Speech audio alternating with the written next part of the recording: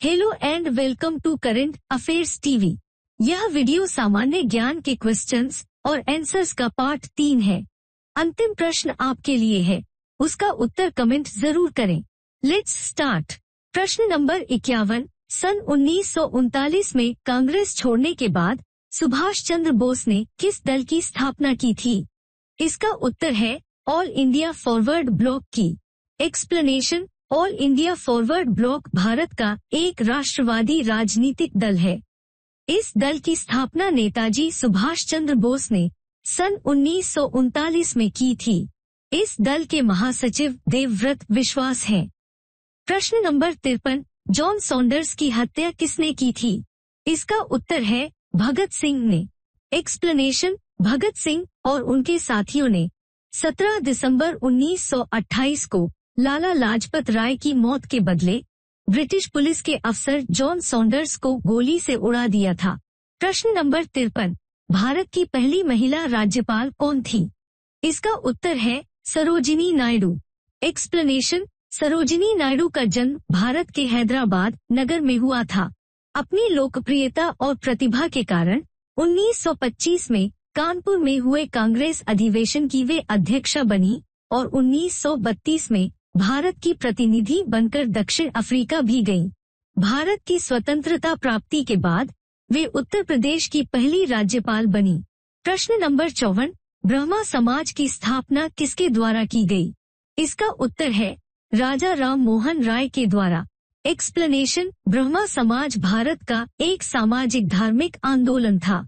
इसका एक उद्देश्य भिन्न भिन्न धार्मिक आस्थाओं में बटी हुई जनता को एकजुट करना तथा समाज में फैली कुरीतियों को दूर करना था। इसके प्रवर्तक राजा राम मोहन राय अपने समय के विशिष्ट समाज सुधारक थे। सन 1828 में ब्रह्मा समाज को राजा राम मोहन और द्वारकानाथ टैगोर ने स्थापित किया था। प्रश्न नंबर पचपन, वेदों की ओर लौटो का नारा किसने दिया था? इसका उत्तर है, स्वामी दयानंद सरस्वती ने।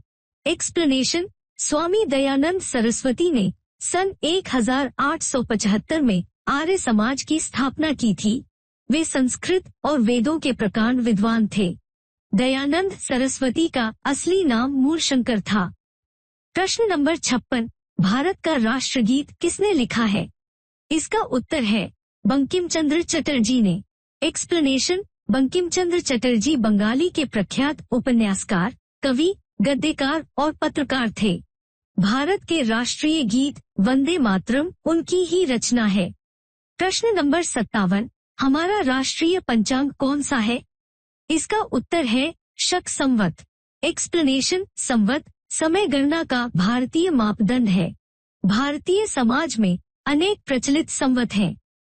मुख्य रूप से तीन संवत चल रहे हैं, प्रथम विक्रम संवत, दूसरा शक संवत और तीसरा लोधी संवत। शक संवत भारत का प्राचीन संवत है, जो अठहत्तर ईस्वी से आरंभ होता है।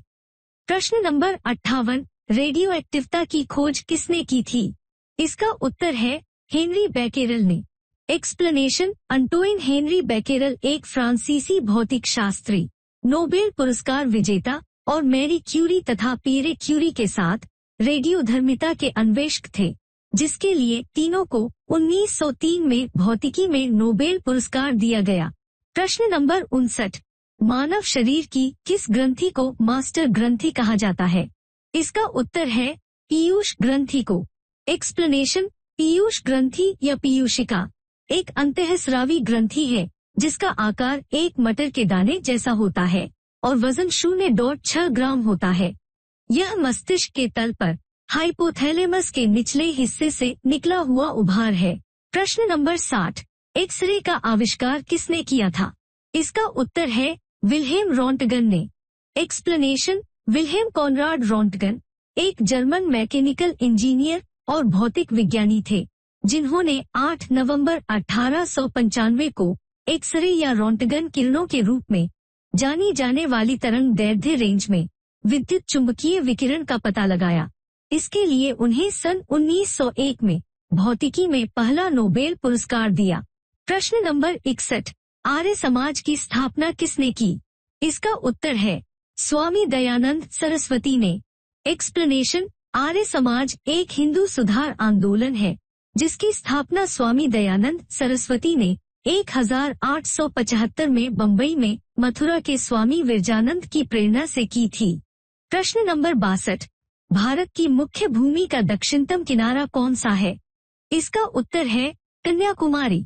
एक्सप्लेनेशन कन्याकुमारी तमिलनाडु प्रांत के सुदूर दक्षिण तट पर बसा एक शहर है। यह हिंद महासागर बंगाल की खाड़ी तथा अरब, सागर का संगम स्थल है जहाँ भिन्न सागर अपने विभिन्न रंगों से मनोरम छटा बिखेरते हैं। प्रश्न नंबर तिरसठ इंसुलिन का प्रयोग किस बीमारी के उपचार में होता है? इसका उत्तर है मधुमेह के उपचार में। एक्सप्लेनेशन इंसुलिन एक ऐसा हार्मोन है, जो आपके पेंक्रियाज या अग्न्याशय नाम के अंग से उत्पन्न होता है। ये ग्लूकोज को अवशोषित और कार्बोहाइड्रेट्स और फैट मेटाबॉलिज्म को नियंत्रित करता है। प्रश्न नंबर चौसठ, कौन सा विटामिन आंवले में प्रचुर मात्रा में मिलता है? इसका उत्तर है vitamin C explanation vitamin C शरीर की मूलभूत, रासायनिक क्रियाओं में यौगिकों का निर्माण और उन्हें सहयोग करता है। विटामिन सी एक एस्कॉर्बिक अम्ल होता है, जो कि हर तरह के सिट्रस फल में जैसे नींबू, संतरा, अमरूद, मौसमी आदि में पाया जाता है। प्रश्न नंबर पैंसठ, कागज़ का आविष्कार किस देश में हुआ? इसका उत्तर है चीन में। एक्सप्लेनेशन कागज़ का आविष्कारक चीन को माना जाता है। कैलुन चीनी आविष्कारक और हान राजवंश के एक अदालत के अधिकारी थे। पारंपरिक रूप से उन्हें कागज़ के आविष्कारक और पेपर मेकिंग प्रक्रिया के रूप में माना जाता है, क्योंकि उन्होंने अपने आधुनिक रूप में कागज़ की उत्पत्ति की। प्रश्न नंबर छियासठ, संविधान सभा का स्थायी अध्यक्ष कौन था? इसका उत्तर है डॉक्टर राजेंद्र प्रसाद। एक्सप्लेनेशन भारत की संविधान सभा का चुनाव भारतीय संविधान की रचना के लिए किया गया था। ब्रिटेन से स्वतंत्र होने के बाद, संविधान सभा के सदस्य ही प्रथम संसद के सदस्य बने। डॉक्टर राजेंद्र प्रसाद, भीमराव आम्बेडकर सरदार वल्लभ भाई पटेल, श्यामा प्रसाद मुखर्जी, जवाहरलाल नेहरू, मौलाना अबुल कलाम आज़ाद आदि इस सभा के प्रमुख सदस्य थे। प्रश्न नंबर सड़सठ विश्व रेड क्रॉस दिवस किस तारीख को मनाया जाता है? इसका उत्तर है 8 मई को। एक्सप्लेनेशन विश्व रेड क्रॉस दिवस प्रतिवर्ष 8 मई को मनाया जाता है। यह दिवस रेड क्रॉस के संस्थापक और शांति के लिए पहले नोबल पुरस्कार विजेता जीन हेनरी ड्यूनेंट के जन्मदिन के उपलक्ष्य में मनाया जाता है। प्रश्न नंबर अड़सठ, अंतर्राष्ट्रीय महिला दिवस किस तिथि को मनाया जाता है? इसका उत्तर है 8 मार्च को। एक्सप्लेनेशन अंतर्राष्ट्रीय महिला दिवस हर वर्ष 8 मार्च को मनाया जाता है। विश्व के विभिन्न क्षेत्रों में महिलाओं के प्रति सम्मान, प्रशंसा और प्यार प्रकट करते हुए इस दिन को महिलाओं के आर्थिक, राजनीतिक और सामाजिक उपलब्धियों के उपलक्ष्य में उत्सव के तौर पर मनाया जाता है। सबसे पहला दिवस, न्यूयॉर्क शहर में 1909 में एक समाजवादी राजनीतिक कार्यक्रम के रूप में आयोजित किया गया था। 1917 में सोवियत संघ ने इस दिन को एक राष्ट्रीय अवकाश घोषित किया। प्रश्न नंबर उनहत्तर, ओणम किस राज्य का प्रसिद्ध त्योहार है? इसका उत्तर है, केरल का। एक्सप्लेनेशन ओणम केरल का एक प्रमुख त्योहार है। ओणम का उत्सव सितंबर में राजा महाबली के स्वागत में प्रति वर्ष आयोजित किया जाता है। जो दस दिनों तक चलता है। प्रश्न नंबर सत्तर, सबसे चमकीला ग्रह कौन सा है? इसका उत्तर है, शुक्र ग्रह। एक्सप्लेनेशन शुक्र, सूर्य से दूसरा ग्रह है, और प्रत्येक दो दो चार डॉट सात पृथ्वी दिनों में सूर्य परिक्रमा करता है। ग्रह का नामकरण प्रेम और सौंदर्य की रोमन देवी पर हुआ है। यदि सूरज और चाँद के बाद पृथ्वी से कोई खगोलीय वस्तु सबसे चमकीली प्रतीत होती है तो वह है शुक्र ग्रह। शुक्र उन सभी ग्रहों में है, जिन्हें हम बिना किसी उपकरण की सहायता से देख सकते हैं। प्रश्न नंबर इकहत्तर। संयुक्त राष्ट्र संघ के पहले महासचिव कौन थे? इसका उत्तर है ट्रीग्वीली। एक्सप्लेनेशन ट्रीग्वी हल्दन ली नॉर्वियन राजनीतिज्ञ, मजदूर नेता, सरकारी अधिकारी तथा लेखक थे। एक फरवरी 1946 को वे संयुक्त राष्ट्र के पहले महासचिव बने। और इस पद पर वे नवंबर उन्नीस सौ बावन तक रहे। प्रश्न नंबर बहत्तर, अंतर्राष्ट्रीय न्यायालय कहाँ स्थित है?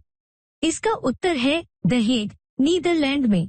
एक्सप्लेनेशन, अंतर्राष्ट्रीय न्यायालय संयुक्त राष्ट्र का प्रधान न्यायिक अंग है, और इस संघ के पाँच मुख्य अंगों में से एक है। इसकी स्थापना संयुक्त राष्ट्र संघ के घोषणा पत्र के अंतर्गत हुई है। इसका उद्घाटन अधिवेशन 18 अप्रैल 1946 को हुआ था। प्रश्न नंबर तिहत्तर, संयुक्त राष्ट्र महासभा में हिंदी में भाषण देने वाले भारतीय कौन थे? इसका उत्तर है, अटल बिहारी वाजपेयी। एक्सप्लेनेशन अटल बिहारी वाजपेयी भारत के तीन बार के प्रधानमंत्री थे। वे हिंदी कवि, पत्रकार व एक प्रखर वक्ता थे। वे भारतीय जनसंघ के संस्थापकों में एक थे। प्रश्न नंबर चौहत्तर। संयुक्त राष्ट्र संघ का एक सौ सदस्य कौन सा देश बना था? इसका उत्तर है, दक्षिण सूडान। एक्सप्लेनेशन दक्षिण सूडान, उत्तर पूर्व अफ्रीका में स्थित स्थलरुद्ध देश है। जुबा देश की वर्तमान राजधानी और सबसे बड़ा शहर भी है। दक्षिण सूडान को 9 जुलाई 2011 को जनमत संग्रह के पश्चात स्वतंत्रता प्राप्त हुई। यह विश्व का एक सौ स्वतंत्र देश, संयुक्त राष्ट्र का एक सौ सदस्य तथा अफ्रीका का पचपनवा देश है। प्रश्न नंबर पचहत्तर, आपके लिए इसका उत्तर कमेंट बॉक्स में दे, संयुक्त राष्ट्र संघ सुरक्षा परिषद के कितने देश सदस्य होते हैं? ऑप्शन ए पाँच देश। ऑप्शन बी पंद्रह देश। ऑप्शन सी एक सौ तिरानवे देश। Option D, 20 Desh. Thank you. Have a nice day.